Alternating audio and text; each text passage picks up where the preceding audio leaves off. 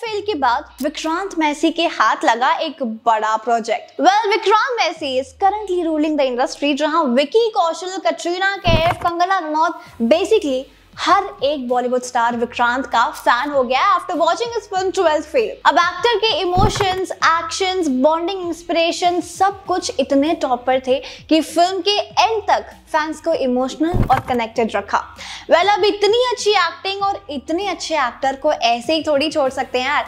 Film देखने के बाद कई डायरेक्टर्स ऐसे हैं जो विक्रांत को अपनी फ़िल्म में एज अ लीड के तौर पर देखने के लिए तरस रहे हैं। और इन डायरेक्टर्स की लिस्ट में बहुत नाम है, लेकिन उनमें से एक नाम मैं आपको आज बताने वाली हूँ। वो कौन है डायरेक्टर कैसा रोल होगा? विक्रांत का उनकी अपकमिंग फ़िल्म में you gonna know all the dates from me but उससे पहले यार पेज को फॉलो और वीडियो को लाइक करना बिल्कुल मत भूलना। वेल well, विक्रांत मैसी अब बहुत ही जल्दी एकता कपूर की फ़िल्म में नज़र आने वाले हैं जहाँ ये फ़िल्म होने वाली है एक पॉलिटिकल थ्रिलर फ़िल्म जहाँ ट्वेल्थ फेल एक्टर को एक लीड रोल के तौर में भी देखा जा सकता है।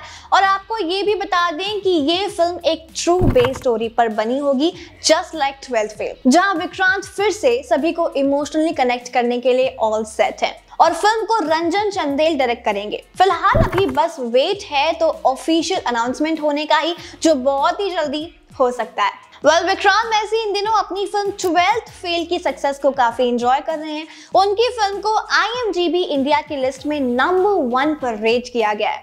फ़िल्म भले ही 20 करोड़ रुपए के बजट में बनी हो, लेकिन फ़िल्म ने बॉक्स ऑफ़िस पर 60 करोड़ रुपए से बहुत ही ज़्यादा का अच्छा खासा प्रॉफिट कमा लिया है। वेल ट्वेल्थ फेल फ़िल्म की स्टोरी की बात करें तो ये आईपीएस ऑफिसर मनोज शर्मा की बायोपिक है और इस फ़िल्म में उनके स्ट्रगल्स की स्टोरी दिखाई गई है कि कैसे एक ट्वेल्थ फेल लड़का अपने घर वालों के लिए, अपनी फैमिली के लिए और देश के लिए कुछ कर दिखाने की चाह में आईपीएस बन जाता है। और इसके लिए वो कड़ी मेहनत भी करता है। और ये फ़िल्म 27 अक्टूबर को थिएटर्स में रिलीज़ हुई थी और फ़िल्म को विदु विनोद चोपड़ा ने डायरेक्ट किया था। 27 अक्टूबर को थिएटर्स में रिलीज़ होने के बाद फ़िल्म 29 दिसंबर 2023 को OTT platform Disney plus Hotstar पर भी रिलीज़ कर दिया गया वेल इफ़ आपने ट्वेल्थ फेल फ़िल्म देखी है तो फिर आपको फ़िल्म कैसी लगी हमें नीचे कॉमेंट सेक्शन में ज़रूर बताएँ। And for more updates to follow page